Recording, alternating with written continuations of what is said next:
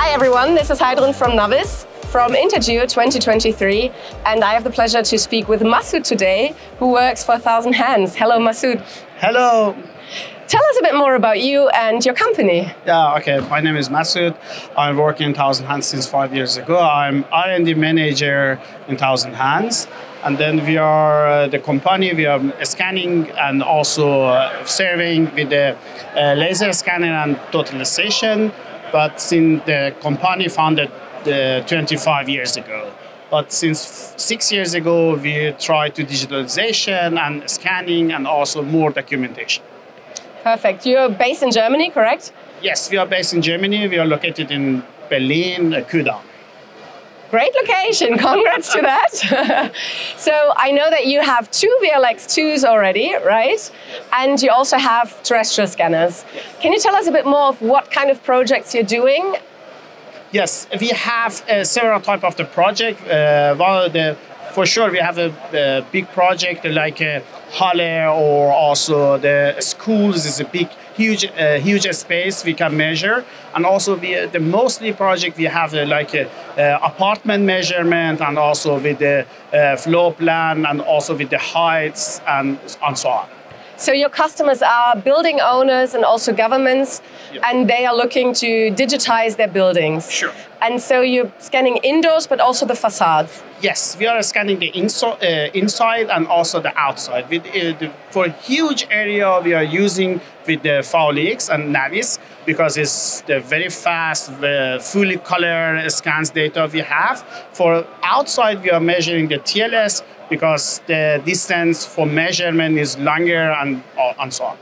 And so you're also using drones to actually capture the roof, right? For sure. We are using the drone. You, you know, we are using three techniques and three source, and then we are uh, match all together in the IVION because uh, at, because we assigned one coordinate system and we could uh, merge several um, uh, several sources together in one project.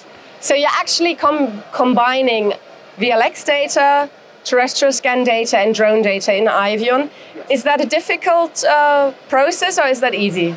No, no, no, no. If you if you just look at the, the data and then if you know the the precede is too easy, you know, it's it's it's not difficult. And also, as you know, the, the if you have enough knowledge, uh, from the different sources, you can combine, and then the IVION is great software. You can merge all different sources to one project, and at the end, you don't have any gap.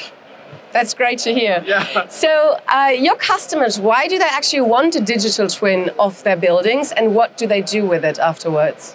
Yes, uh, our customers uh, for sure they need a digital, always a digital data because they can always access to the data and then visualization, modeling, and more documentation about the data as well. You know, if you because with the NavVis and, and other uh, sources, we are capturing the data with the photos as well. And then we can see is really perfect inside the building, how it look like. And then if the next year or after construction, again, we go there and then we can uh, see the change detection as well. So they do it to have an as-built documentation to know what it actually looks like, to have the floor plan, and then also to plan refurbishments, changes that are being planned for the building, correct? Exactly, exactly. You know, one product we are always uh, produce the BIM modeling and also with the information we are capturing the site because you know with the, uh, the VLX we have the, uh, the panorama photo and 360 and then very well document we can add more attributes on the data.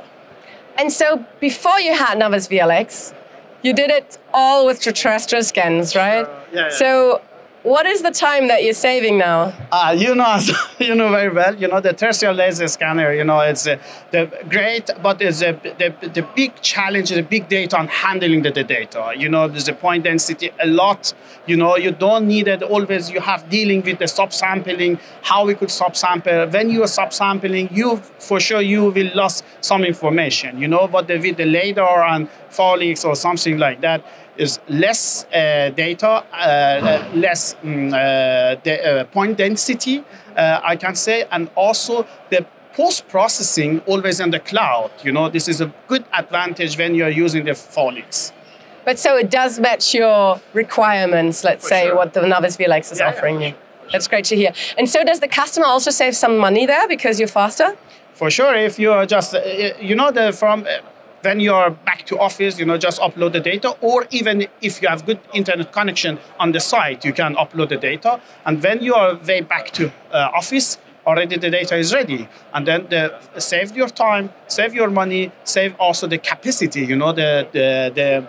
Uh, TLS, this huge data, always the sort, and also the you need for sure very very good computer to handle big data but the, the LiDAR data and SLAMS data always uh, less point density and lighter.